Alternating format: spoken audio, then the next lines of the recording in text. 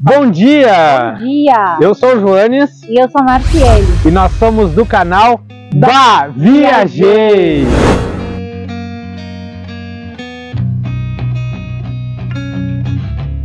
E hoje nós vamos conhecer Ivoti, uma cidade que fica localizada ao norte da região metropolitana de Porto Alegre. Aqui é o berço da imigração alemã e imigração japonesa.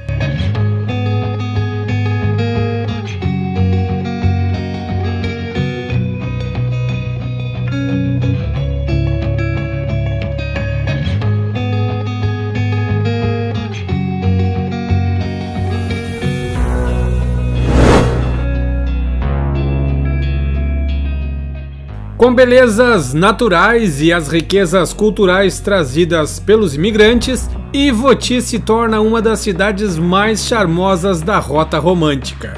E é aqui, na Cidade das Flores, que encontra-se o maior núcleo de casas em Chaimel do Brasil. E é para lá que estamos indo agora e tu é o nosso convidado.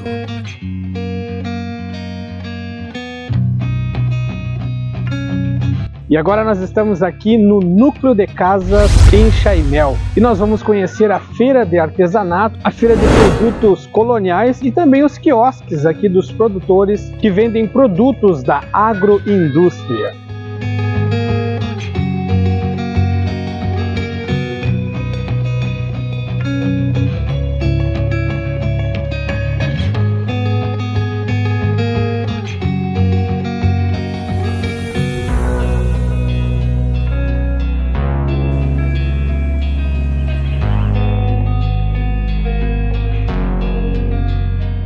E a feira reúne cerca de 30 expositores que comercializam produtos coloniais, agroindustriais e orgânicos. Para nós, o destaque foi a qualidade dos produtos que realmente são diretos do produtor para a nossa mesa. É uma variedade de queijos e de linguiça com verdadeiro sabor colonial e preços muito atrativos. E a linguiça na promoção está R$ 5 a penca.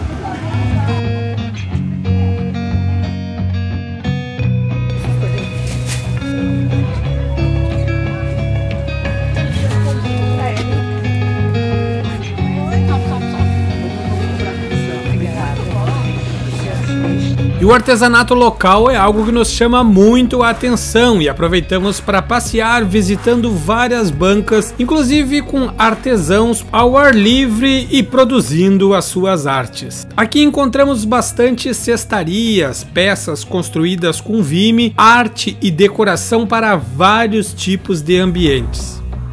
E no nosso roteiro nós sempre reservamos um espaço para valorizar o comércio local.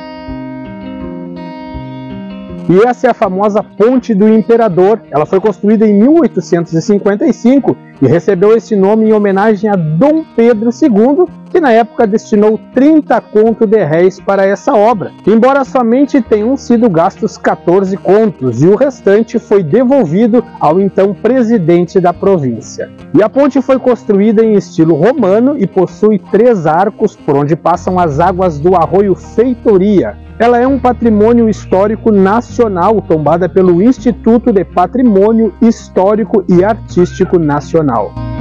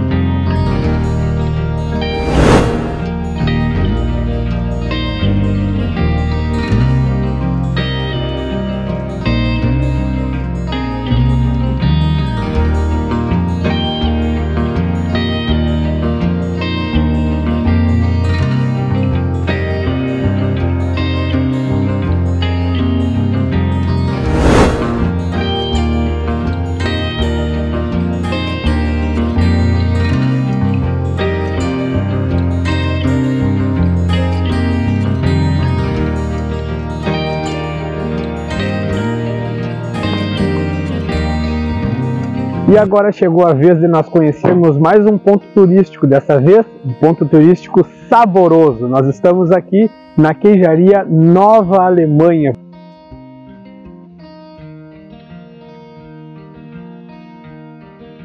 E aqui nós vamos fazer uma degustação com queijos produzidos com leite de vaca e também produzidos com leite de cabra. E nós convidamos vocês para irem conosco e experimentar essas delícias. Vamos lá? Ele tem maturação de 30 dias e ele é um queijo suave. O colonial na forma grande está numa promoção. R$ reais o quilo. É fracionar o tamanho que deseja. Este é o Itálico ao vinho. Ele tem maturação de 30 dias também. 7 dias ele fica imerso em tanques de vinho adquirindo coloração e sabor. A casca pode ser consumida normalmente e no queijo traz a lembrança do vinho. Este é o Morbier, ele tem maturação de 45 dias, ele, ele é uma, um queijo de uma receita de origem francesa, ele é um queijo que é bastante cremoso, um pouquinho mais salgadinho e derrete muito bem. Ele leva uma faixa de carvão vegetal ao meio, somente para manter a estética do queijo. Este aqui é o Golda, 3 meses de maturação, um queijo macio e levemente adocicado, de origem holandesa. Este é o parmesão, ele tem 12 meses de maturação, a consistência dele é firme e granulosa e pode ser tanto usado para ralar como para aperitivo também. Trabalhamos com uma linha de iogurtes, eles são zero lactose e são feitos com leite de vaca promoção de 3 por 10 e podem variar os sabores. E este último aqui é um queijinho de leite de cabra, é o nosso bursan. Ele é um queijinho de leite de cabra cremoso, temperado, com alho e orégano. Além deste tempero, nós temos ervas finas ou adobo que é levemente apimentado.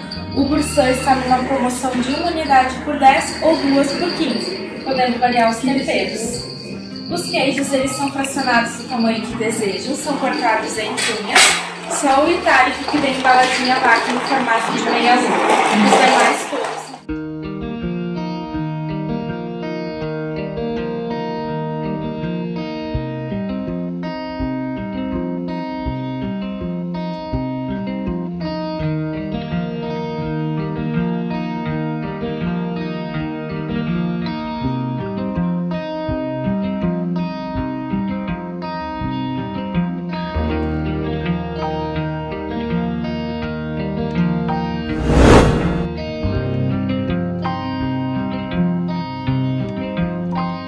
E aqui atrás está a igreja São Pedro Apóstolo. Aqui em Voti, ela é conhecida como Antiga Igreja Matriz.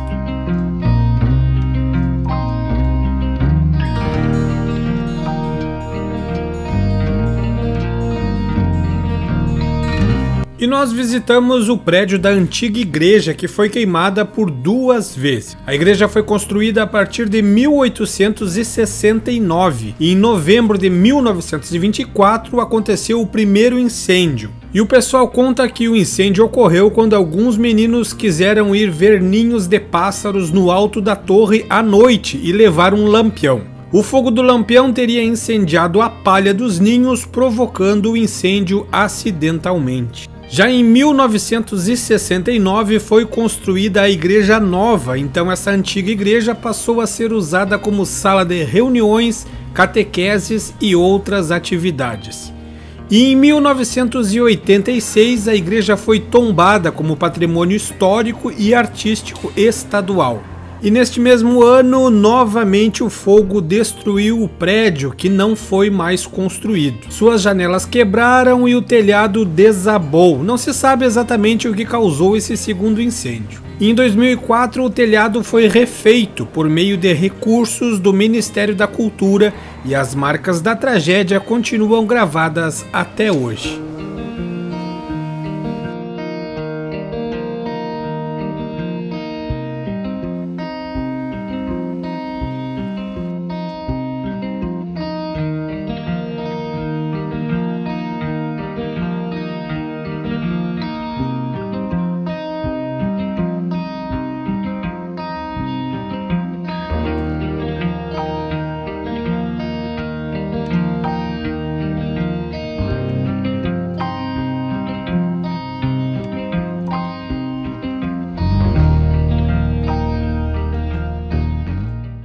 Fomos conhecer o Cantinho Doce, padaria, cafeteria e confeitaria. É um espaço tradicional gourmet aqui em Ivoti. E olha só, é ou não é um cantinho de delícias?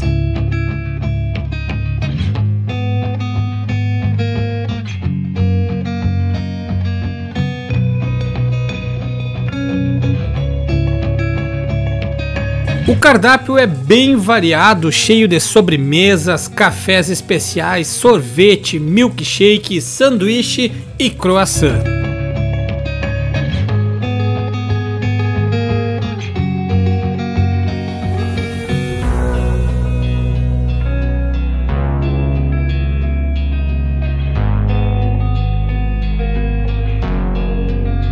Na sobreloja fica o buffet de café colonial com doces, salgados fritos e assados, tortas, pães, cucas, geleias, bolos, frango frito, frios, ovos mexidos, embutidos, queijos coloniais, sucos e café.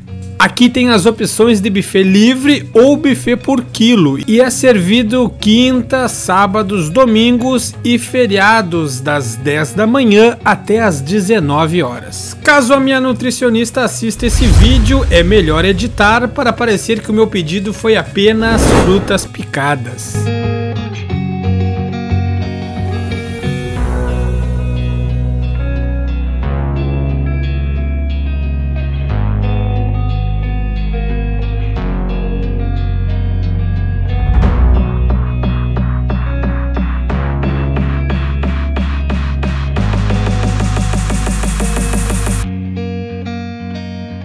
Agora vamos conhecer o Mirante Belvedere, o Mirante de Ivoti.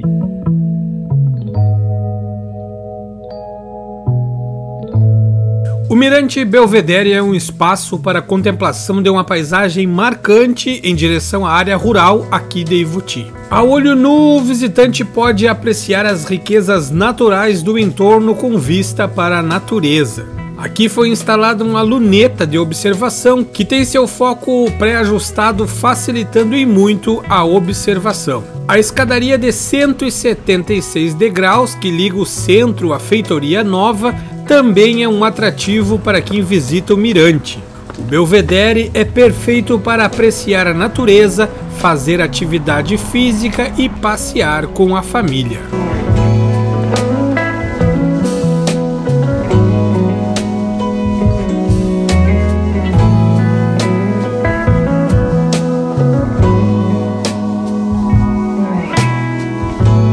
Vamos encerrando esse passeio por Ivoti e esperamos que tu tenha gostado de viajar conosco pela cidade das flores, uma das cidades mais charmosas da Rota Romântica.